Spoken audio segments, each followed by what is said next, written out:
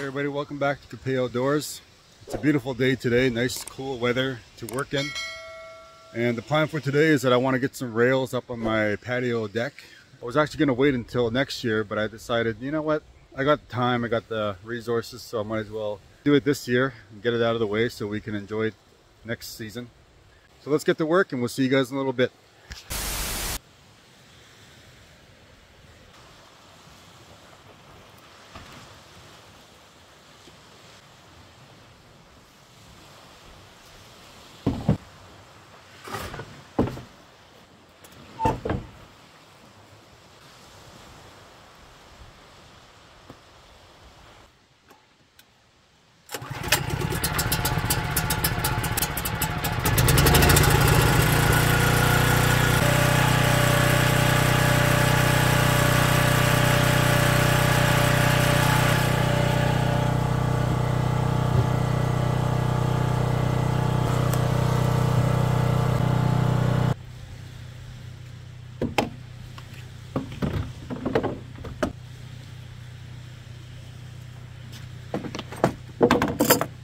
Hey guys, I'm not sure if you remember from the last build when I started this cabin the first time, I had used these uh, black rods, my uh, railings on the, on the patio deck, so I'm going to use these again. I got a box full of them.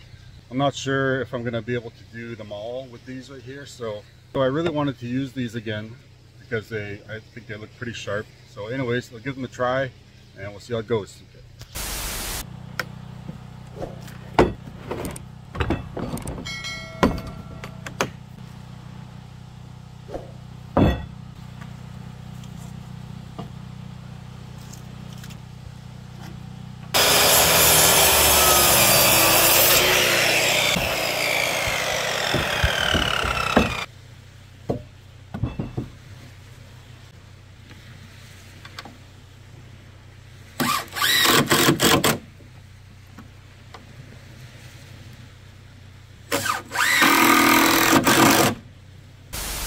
wanted to share a quick tip with you guys before I move on a little further.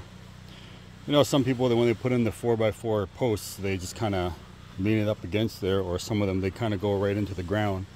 But if you are going to be building just underneath in this part right here, underneath there, just the patio deck with the rest of it, um, one thing I would highly recommend, and I know I normally would do this before putting on all the planks on top, but uh, one tip that I was given uh, a few years ago was um, when you're putting in these uh, 4x4 posts, you run another 2x6 from this end all the way to here to your to your joist and cut a small piece to fit a three and a half inch blocking right here.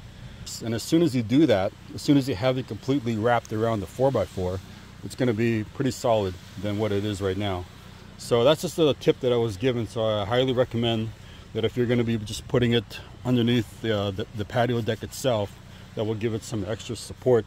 So I would highly recommend that if you are putting in 4x4 posts around your railings. So yeah, I just thought I'd share that tip with you guys real quick and hope it helps. All right, so we got this thing completely wrapped 4x4 post and that thing's not going anywhere. Look at that.